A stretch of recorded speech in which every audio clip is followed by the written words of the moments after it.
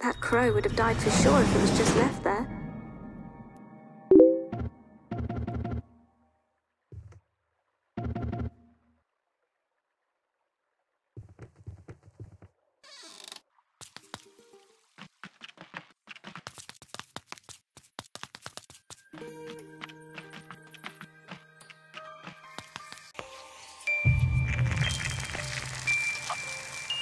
Remember, Restorer, will not let you project back to the real world until our goal is reached. Don't worry about what's happening on my end. I'll make sure you're safe. As long as you help me, I'll help you. And we'll get through this in one piece. Now, when you're ready, come back to the case and let's access the first core memory of this evening.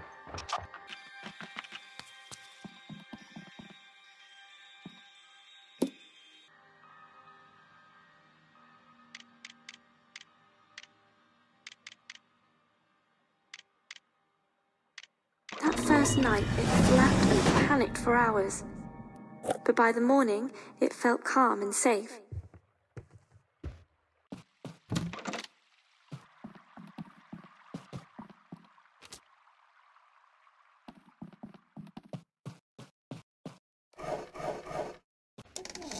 It took weeks, but it healed fully, and pretty soon it needed to be released back into nature.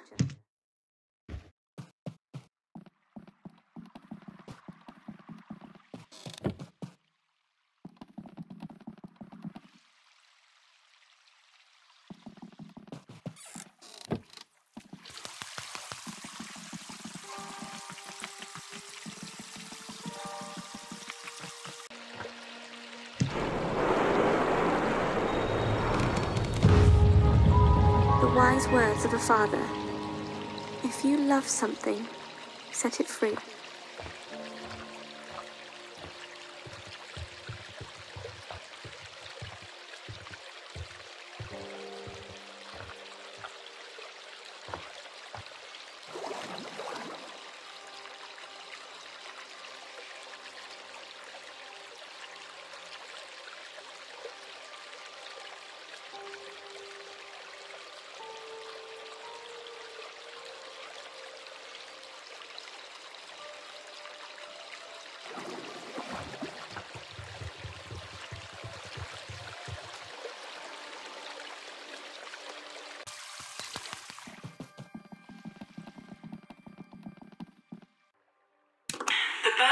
Is a special one. I'm marking it under positive. Although it deals with letting go, it also has a strong emphasis on a father's love. And when I used it, I found that the patient didn't want to let it go. this may be an early sign of progress. As experimental as this process is, I still feel it's heavily grounded in tangible science.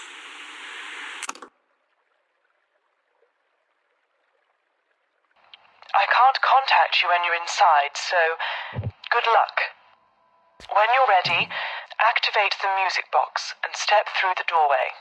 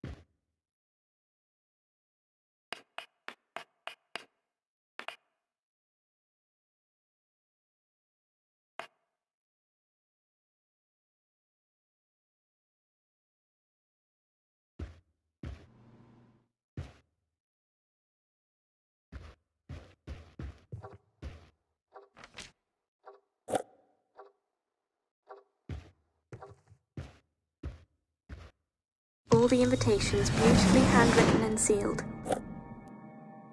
We would be delighted if you could attend our special day. Please RSVP.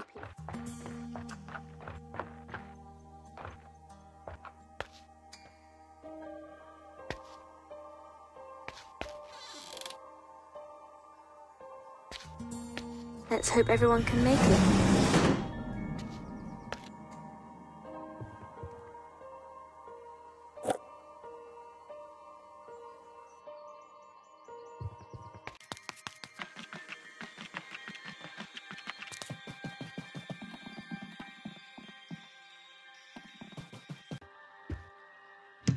Every single invitation applied to, and with the same answer.